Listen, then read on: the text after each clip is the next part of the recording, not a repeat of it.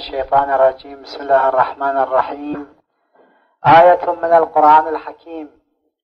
ومن أراد الآخرة وسعى لها سعيها وهو مؤمن فأولئك كان سعيهم مشكورا. من أراد الآخرة هذا الشرط الأول وسعى لها سعيها الشرط الثاني وهو مؤمن الشرط الثالث. أشكل هذه الشروط هو الشرط الوسط. أردت الآخرة وأنا مؤمن لكن ما سعيت للآخرة؟ السعي اللائق بالآخرة. كل شيء يحتاج إلى سعي لائق. يعني شنو؟ يعني أنت تريد أن تصبح دكتور. سعي الدكتور شنو؟ لازم 18 سنة تدرس. صح ومو صح؟ 18 سنة حتى تصبح دكتورا تريد أن تصبح بروفيسور. كم سنة؟ 30 سنة تدرس تصبح بروفيسور. ومن أراد الآخرة وسعى لها سعيها. الكلمة اللي تنسوها. سعي اللائق بالآخرة. يعني أنك إذا أردت أن تبني بيتا في الدنيا من ألف متر في بند القار لازم عشرين سنة تشتغل حتى تحصل نصف مليون دينار تشتري بيت بيت في بند القار نصف مليون دينار صح؟ إذا بيت في بند القار لأجل خمسين سنة فقط يحتاج إلى عشرين سنة من العمل مليار سنة من الراحة. في الآخرة كم سنة يحتاج من العمل؟ وكيف يحتاج إلى العمل؟ الحقيقة هذه الكلمة من أعظم كلمات القرآن ثقلا على الإنسان. ومن أراد الآخرة. أردت أن أكون دكتورا. وأنا مؤمن بأن الدكتورة طريق النجاح وطريق الخدمة. لكن ما سعيت لها سعيها؟ سعي اللائق 18 سنة من الدراسة. هل أصل؟ ما أصل شيء طبيعي. ومن أراد الآخرة وسعى لها سعيها سعى لها سعيها. الكلمة الثقيلة. سعى لها سعيها. الشرط الثاني وهو مؤمن. هذا الشرط الثالث. بعدين الله يقول فأولئك كان سعيهم مشكورا. يعني يشكر سعيهم يعني سعيهم يقبل يعني ينتهي إلى نتيجة. الآخرة مو هالشكل حتى الدنيا. حتى الدنيا. الإمام يقول اعمل لدنياك كأنك تعيش أبدا. هاي فرد كلمة جدا عجيبة. عن لسان إمام معصوم يعتقد بالآخرة. مو رجل مادي ودنيوي. اعمل لدنياك كأنك تعيش أبدا. أبد مو خمسين ولا ستين ولا مية ولا ألف ولا عشرة آلاف ولا مليون ولا مليار ولا ألف مليون مليار. أبدا أبدا. كله يحتاج إلى العمل. الواقع يوم اللي مسلمون تقدموا كان هذا منهاجهم. يشتغلون للدنيا كأنهم يعملون أبدا. لكن نحن الخاملين ما نشتغل للدنيا حتى لو أسبوع بنشتغل وقت للشهر بنشتغل للسنة بنشتغل ناس عاديون يواش يمشي يواش يحكي. عادي ورزق الله كافي. أوه حرص على الدنيا ما يحتاج. عمي هذا مو حرص على الدنيا. أنت إذا ما عملت للدنيا يهود يعملون للدنيا ويتقدمون وبالفعل تقدموا.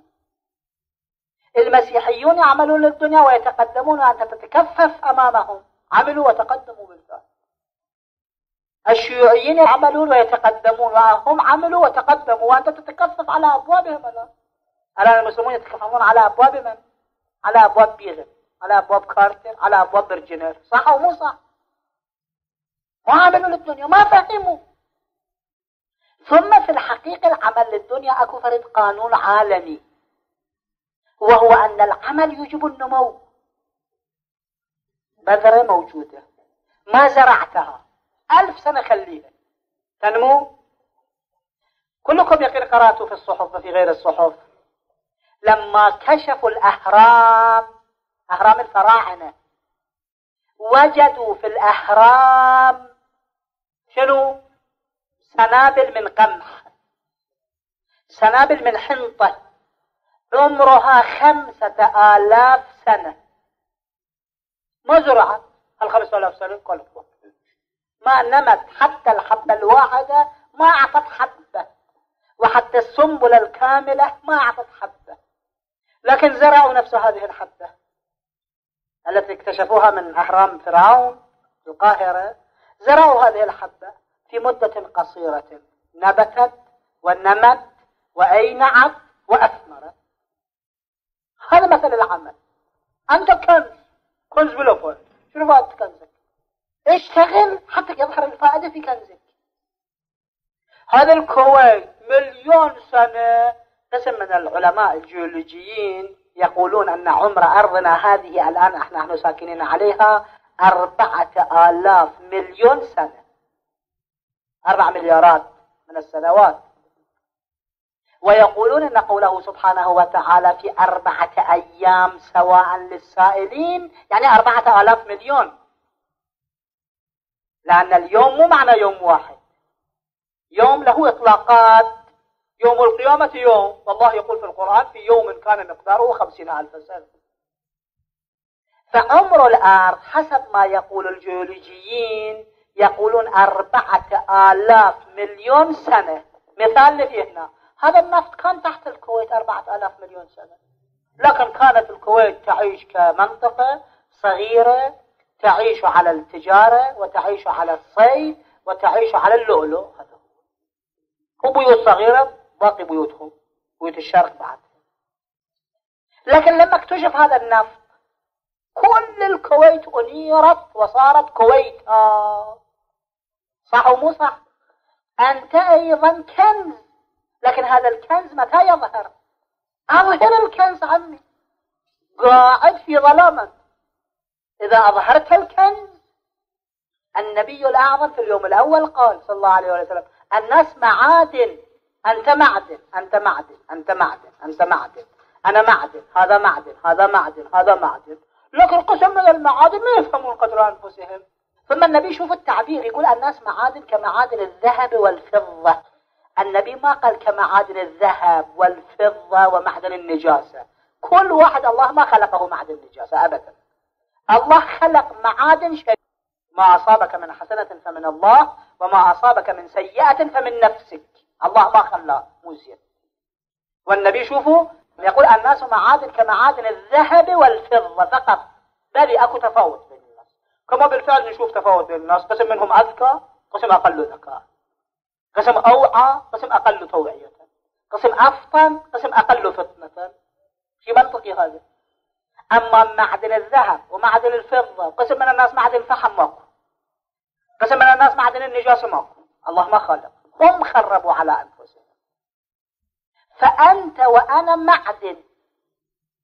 تاجر عالم خطيب مؤلف أي إنسان هو معدن معدن. هذا الخطيب اللي يصبح خطيب أول هو معدن. وهذا الخطيب اللي لا يصبح خطيب أول أيضا معدن. بس هذا ما شغل معدن ذاك شغل معدن. التاجر كذلك والمهندس كذلك والكاسب كذلك. هسه شوفوا إحنا المسلمين 800 مليون مسلم ما عندنا اختراعات. لا كهرباء لا بنك لا ثلاجة لا برادة يعني إحنا ما عندنا قابليات. والغربيون عندهم قابليات. لا إحنا ما عندنا قابليات. هم القابليات اشتغلوا بها إحنا قابلياتنا ذبحناها على البحر وعلى النوادي الليلية. ما أقول في هالبلاد في كل بلادنا الاسلامية وعلى نوادي اللعب. نحن ذبحنا القابليات هم استنموها الفرق هذا. الناس معادن كمعادن الذهب والفضة. معادن الناس. نحن أيضا هكذا. عمل عمل. لا تنسوا العمل تجارة عمل. صناعة عمل. زراعة عمل. خطابة عمل. تأليف عمل ملك عمل رئيس جمهورية عمل وزير عمل كل عمل عمل. ماكو بلا عمل أبدا. فكله عمل. هذا هو. الناس معادن كمعادن الذهب والفضة. فأي إنسان متأخر تأخره من نفسه. قلت نفس القرآن. ما أصابك من سيئات فمن نفسك. ما يصيب الإنسان من السيئات هذه السيئات من نفسه. لأنه لم يشتغل لأنه لم يعمل لأنه لم يهتم لأنه لم يتقدم. يدرس إلى الثانوية وخلص الثانوية يقول كافي عمي. شنو كافي؟ روح إلى الجامعة. الجامعة يقول كافي. ليش كافي جامعة؟ روح إلى الغرب وادرس. مو كلهم هم. لا نحن أيضا. الله سبحانه وتعالى جعل في العمل وفي التقدم الحياة مو بس الآخرة. حياة حياة. الإمام أمير المؤمنين عليه الصلاة والسلام في كلمة في نهج البلاغة موجودة وأنا أوصي الشباب من أول نهج البلاغة طالعوه إلى آخر نهج البلاغة. في الحقيقة هذا كتاب من أثمن الكتب. وفيه جواهر لكن لا نعرف قدرها واقع الجواهر شوف الإمام أمير المؤمنين فرد كلمة ما أعظمها من كلمة ولعلنا سمعناها مئات المرات لكن ما طبقناها. الإمام يقول قسم من الناس يقولون الإمام يقول في نهج البلاغة في كتابه إلى عثمان بن حنيف يقول إن قسما من الناس يقولون إذا علي بن أبي طالب غذاؤه قرصان من الخبز الشعير شلون يحارب؟ قعد به الحرب ما يتمكن أن يحارب لأن الحرب يحتاج إلى قوة. الإمام يقول هذول ما عندهم علم النفس ما قارن درس هذا تعبيري ها. يقول بالعكس أنا حيث آكل خبز الشعير أتمكن من الحرب.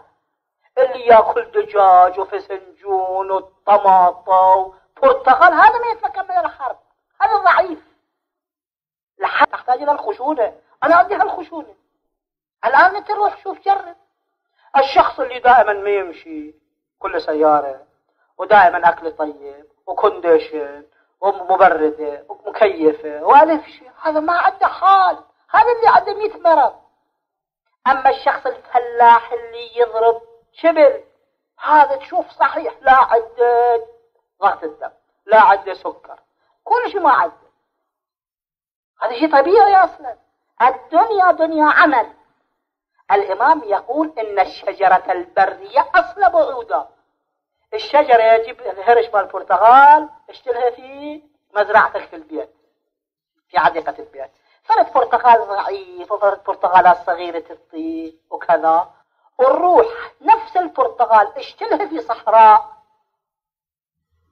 هذا البرتقال المشتول في الصحراء. تشوفها برتقالة قوية عودها صلبة. هل عيدان عيدان أبوابنا من أين يجيبوها؟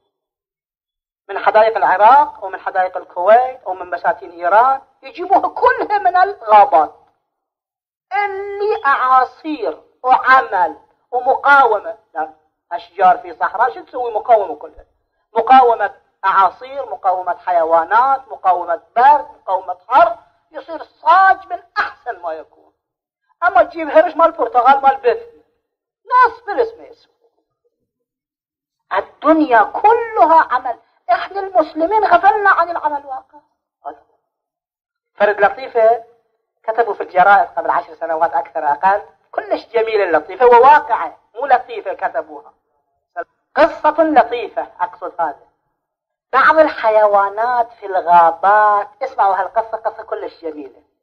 بعض الحيوانات في الغابات أخذ يتناقص مثل الوعل الجبلي. أكو قسم وعل مال الجبل قسم من الأرانب مال الغابات قسم من اليحمور. يحمور حمار خاص. حمار وحشي يسمى يحمور. وبلدة ليس بها أنيس إلا اليحامير وإلا العيسو يحمور.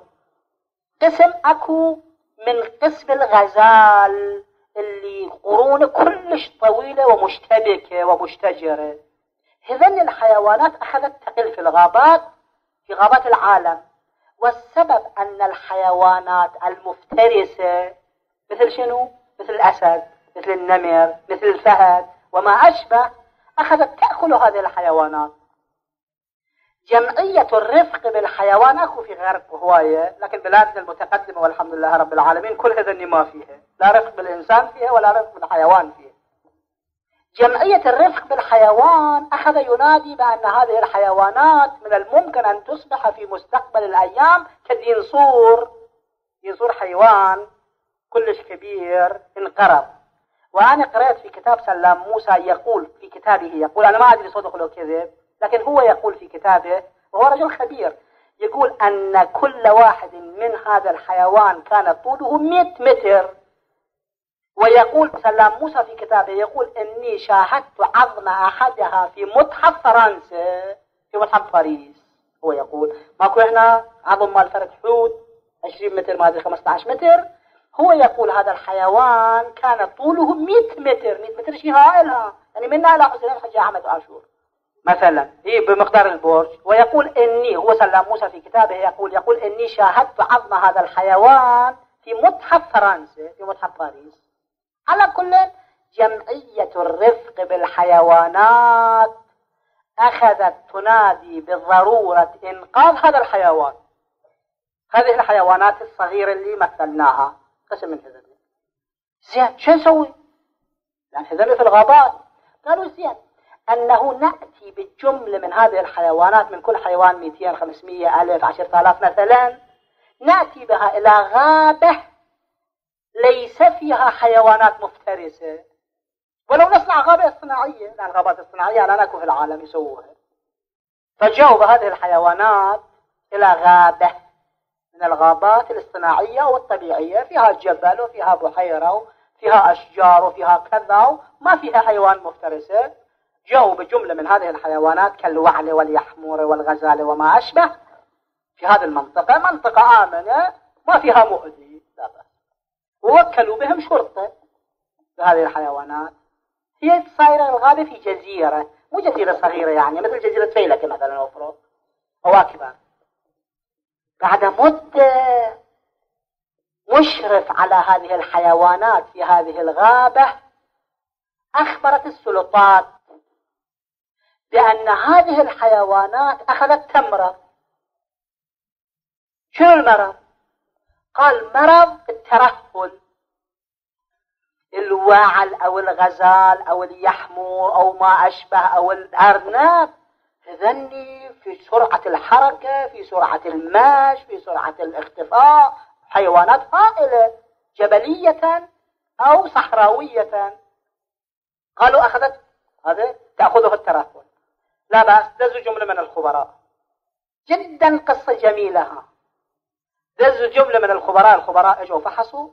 قالوا الحقيقة هذه الحيوانات أصابها الترهل بسبب أنه لم تجد عملا. حيوان يعمل؟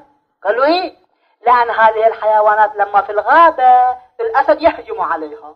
تفر وتنهزم وتتسلق الجبال وتتسلق الأشجار وتختفي. الآن هنا منطقة آمنة كل سلام. إذن أخذت تأكل وتشرب وتسفد وما أشبه. كل شيء ماكو. إذن صارت مترهلات وأصابها المرض.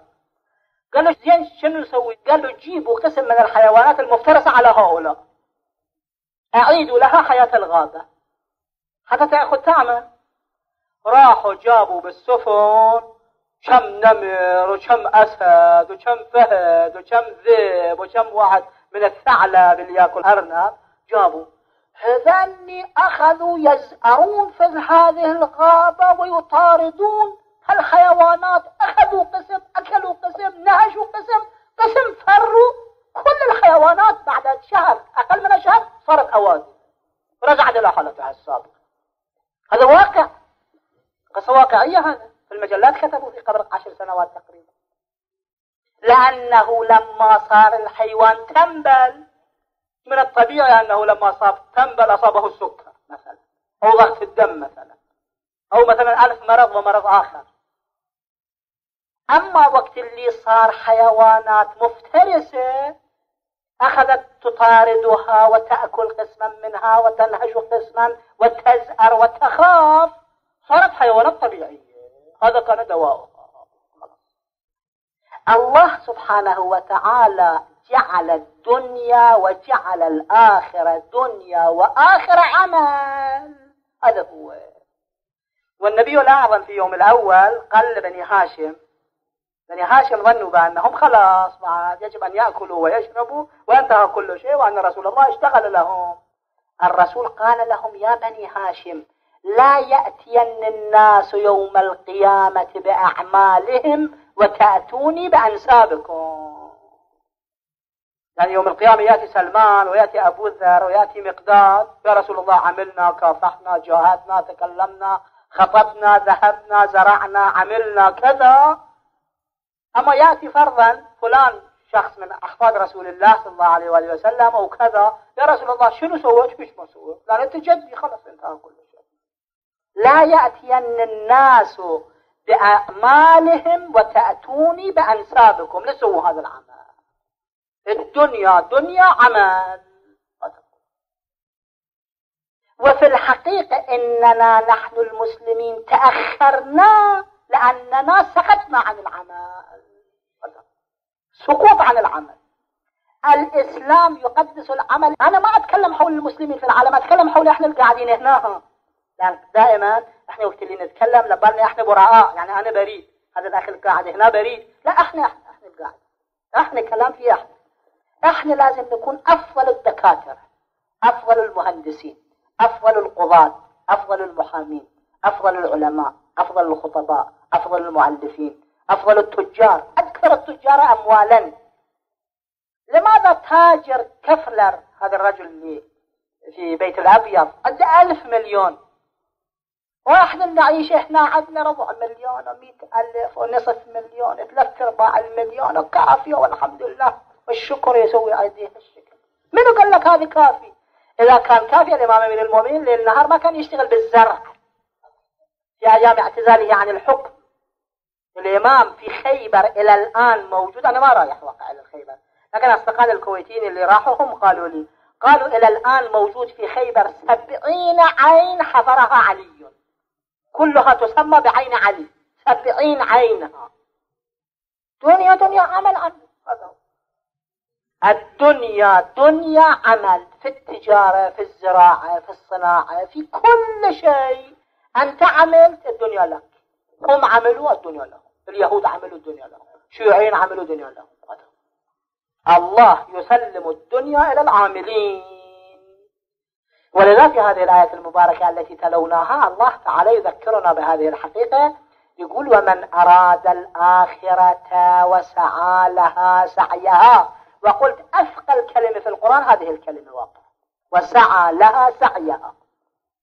يعني السعي سعي اللائق شنو؟ هذا السعي. مو السعي على أنه صغير ولبالنا أنه سعينا. لا لا أبدا ماكو هذا الشيء. ومن أراد الآخرة وسعى لها سعيها وهو مؤمن بعدين الله يقول فأولئك كان سعيهم مشكورا. الله بعد هذه الآية يقول لا تتصوروا أنتم مسلمين. وأنا أساعدكم لأنكم مسلمين. أبدا. شوفوا الآية اللي بعده يقول كلا نمد. يعني أنت مسلم أو كافر؟ أنا أمدك إذا عملت. كلا نمد. هؤلاء وهؤلاء من عطاء ربك. وما كان عطاء ربك محظورا. يقول أنا ما قايل أن الدنيا للمؤمنين المترهلين أكو فرد أبيات أكو فرد واحد شاعر فارسي إيراني. جدا جميل يقول اسمه نسيم الشمال يقول ای فرنگی ما مسلمانیم جنت مال ماست. خواب راحت استراحت ناز و نعمت مال ماست. نحن نوام. وكل خير لنا. الله يقول لا هذا ما. هو هم على الطعنة يقولها على الغشمرة يقولها مو كواقع يقول كلا نمد هؤلاء وهؤلاء من عطاء ربك وما كان عطاء ربك محظورا. ونسأل الله التوفيق لما يحب ويرضى.